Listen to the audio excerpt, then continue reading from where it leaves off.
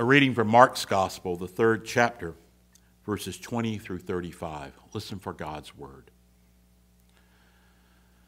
The crowd came together again so that they could not even eat. When Jesus' family heard it, they went out to restrain him, for people were saying, He has gone out of his mind. And the scribes who came down from Jerusalem said, He has Beelzebul, and by the ruler of the demons he casts out demons. And Jesus called them to him and spoke to them in parables, saying, How can Satan cast out Satan? If a kingdom is divided against itself, that kingdom cannot stand. And if a house is divided against itself, that house will not be able to stand. And if Satan has risen up against himself and is divided, he cannot stand. But his end has come. But no one can enter a strong man's house and plunder his property without first tying up the strong man. Then indeed the house can be plundered. Truly, I tell you, people will be forgiven for their sins and whatever blasphemies they utter.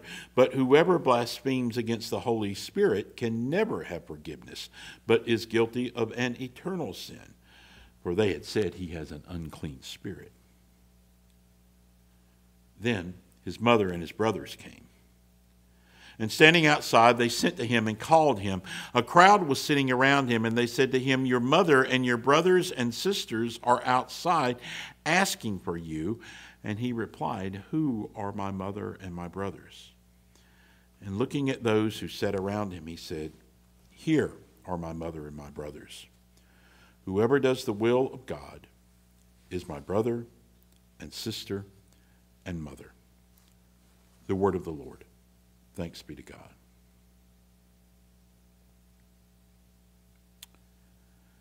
It was an intervention staged by his family, plain and simple. Oh, I get it. They wouldn't have called it that. That idea wasn't around in those days. They would have said, uh, we're, we're, just looking out for him. uh, you, you have to excuse him. You see, Jesus is he's just not himself right now, you see. They would have told him, Come on, Jesus, come with us. It, it, it's going to be okay. Let's just go back home. Let's calm down. Get out of this crowd. That's what they would have said. But make no mistake, his family was staging an intervention. And really, it's no wonder I mean, think about what Jesus had been doing. Think about the things he had been saying. Jesus is going around performing miracles like cleansing lepers and restoring withered hands. Jesus is saying things like, I am the Lord of the Sabbath, or your sins are forgiven, or, hey, disciples, I'm giving you authority to cast out people's demons.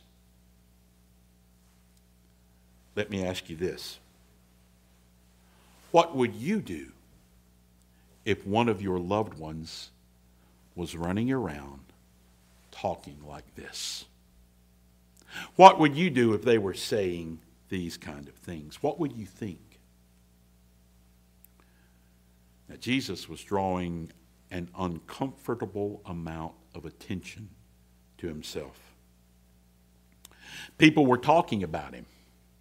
People were wondering about him. People were worried about him. And somewhere, somebody had to ask the question Has this guy lost it? Is this guy crazy? Now, I realize that word crazy is a very loaded term. It's not what it's not a term that we would use today regarding people with mental illness. But if we are honest, it is what a lot of us think. That's the term that does float around in our minds. And I'm willing to bet that that's probably what Jesus' friends and family were thinking about him as well. So while I want to be careful with that term today, I hope you will bear with me and perhaps we can redeem it a little bit by the end. So in verse 21, we see Jesus' loved ones staging what amounts to a failed intervention. Mark tells us they went out to restrain him. That's what his family was doing. For people were saying he has gone out of his mind. Then, to make matters even worse, in verse 22, the religious authorities have noticed, and their assessment is even worse. They think he is possessed by the Beelzebul. Now, today, we have the benefit of hindsight and faith so that we can understand that Jesus was not crazy or possessed, but is in fact God in the flesh.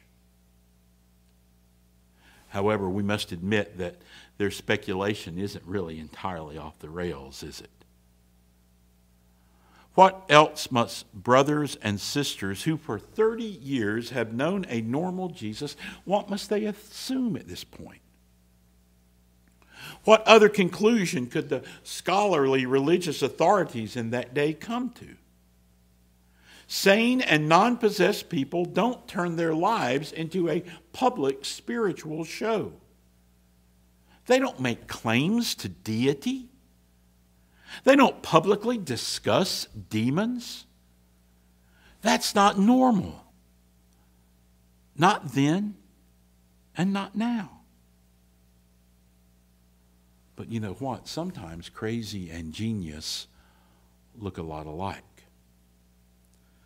Such is the case with Jesus. It's not that he's mad.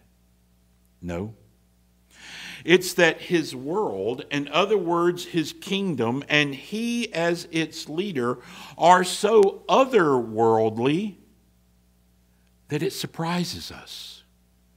And it shakes our foundations. Humanity had never seen such power on public display. It had never heard these kind of values being taught. It had never witnessed such a dynamic and divine authority wrapped in so much weakness. He was basically a homeless, self made rabbi from Nazareth, with, as Isaiah reminds us, no beauty or majesty to attract us to him. Nothing in his appearance that we should desire him. it's really likely that we would have called him mad as well. Jesus, for his part, does not seem overly bothered by the accusations of insanity. Instead, Jesus takes the response of those concerned and uses it to illustrate a dividing line between faith and disbelief. Those who will be forgiven are those who can see that behind the jaw dropping miracles an alarming message is the very Spirit of God. A truth worth remembering is that the kingdom of God, the work of the Spirit, when on the move, will always disrupt and disturb a so called sane world. If craziness is persistently violating social norms with little regard for oneself, then the work of Jesus fits the description. For example, the world idolizes logic and reason. But God's people live by faith and embrace mystery. The world abuses the weak and tries to fix the poor. God's people embrace the lowly as the greatest among us. The world rewards the strongest and the most capable. God's people openly confess our struggles and repent of our sins. The world says it's okay to hate those who have hurt you. God's people say, we love our enemies and we pray for those who persecute us. The world is full of people scrambling to stock up as much earthly treasure as they possibly can before they die. God's people seek to give it away in favor of treasure in heaven. The world's motto is love yourself and try not to hurt your neighbor. Our motto is love your neighbor, and in doing so, be willing to sacrifice yourself. So, if Christians are called crazy from time to time, well, as Jesus might have put it, welcome to my world. Here's the deal if God is real, then by definition, God is above and beyond any and all cultures, perspectives, and political views. No one tribe completely gets God. Therefore, in some way, as God breaks into our world through the Son, the Word and Spirit filled people, God will in some way offend and jar the sensibilities of everyone at some time or another. If the God we worship is not deeply disrupting and uncomfortably confronting some part of our lives, then the God we worship is likely one of our own creation and not the one of the Bible. Nowhere is this illustrated more vividly than in Jesus himself. For example, take the incarnation. We talked about this a couple weeks ago. We say Jesus is fully human and fully divine. But that doesn't make any sense. Second Corinthians says, For you know the generous act of our Lord Jesus, though he was rich, yet for your sakes he became poor so that by his poverty you may become rich. Does that make sense? Or how about Philippians? Christ Jesus, who, though he was in the form of God, did not regard equality with God as something to be exploited, but emptied himself, taking the form of a slave, being born in human likeness. And being found in human form, he humbled himself and became obedient to the point of death, even death on a cross. What kind of God does this? Or take the cross. 1 Corinthians says, For the message about the cross is foolishness to those who are perishing. But to us who are being saved, it is the power of God. God in flesh, in other words, giving his life as a gift for a rebellious and evil humanity is flat out crazy. It's pure foolishness. Or how about salvation? Most religious systems require that the one being rescued do something. You have to grow in certain knowledge or demonstrate a certain obedience. But we are told that Christ died for us while we were still sinners and made us alive when we were dead. Ephesians tells us that we bring nothing to the table. Instead, God, by God's Spirit, brings us to the table and feeds us an unrelenting course of mercy and grace. This runs counter to all that we celebrate in the world, all that the world tells us is true. It's not how countries are conquered, how championships are won, or how a heart is wooed. It is to the human hearer completely ludicrous and yet it's true. It's true. Or how about the resurrection? We just had Easter a few weeks ago. Dead men walking. Right? Enough said. When these ludicrous truths lay hold of you, it changes you, or at least it should change you. That is, if you haven't held it back and been sold some lie about a safe and sound Christianity. Look at the first century church. We talked about them a little bit on Pentecost. How this little tiny group of people suddenly went out there and started, started preaching like, they, like their lives depended on it, which maybe it did. Look at the book of Acts, where how people responded to this. Where with dumbfounded and wide-eyed wonder, the world responds to the early believers people were saying things like this about Christians. Look at them. They share their stuff with each other and with the world. They celebrate in their struggles. They eat flesh and drink blood. We can't hate them. They're insane. Look at church history. There we find countless examples of people who confronted the culture and paid the ultimate price. What would happen if the church today embraced its craziness? What if, rather than worry about fitting in and being relevant, the church chose to bear hug her weirdness?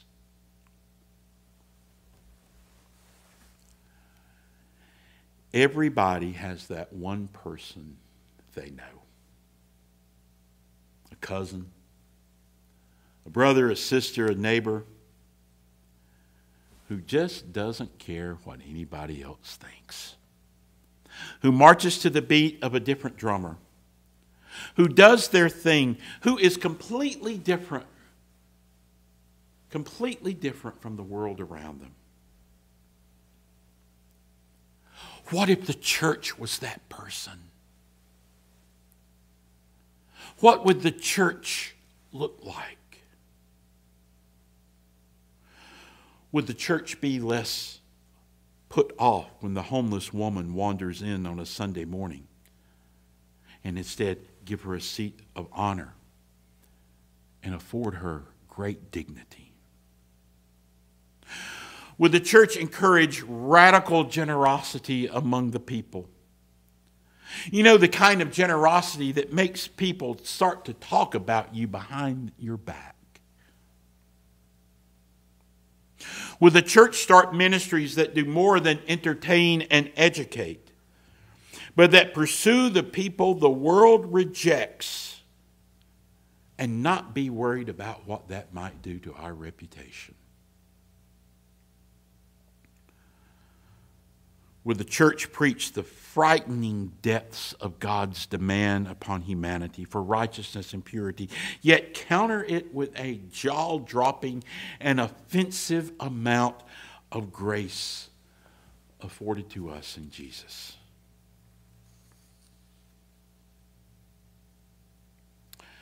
In our text today, Jesus' friends and family were wondering if he was crazy. But we must ask are we crazy enough? The answer will probably be no. Well, then let us set, let us be set free with the insane message of the gospel. Christ has been crucified to cover our lack of crazy. And let us then go out the door with the reminder that we have been set free as agents of an upside down and insane world known as the kingdom of God. Oh, I know, I know. There are those There are those who will take offense at the whole notion of being crazy for Jesus. But me, I think that's good news. Crazy good news. In the name of the Father, and of the Son, and of the Holy Spirit. Amen.